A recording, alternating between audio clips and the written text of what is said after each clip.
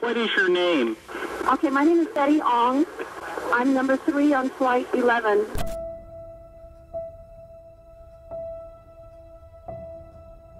Nobody can call the cops. We can't even get inside.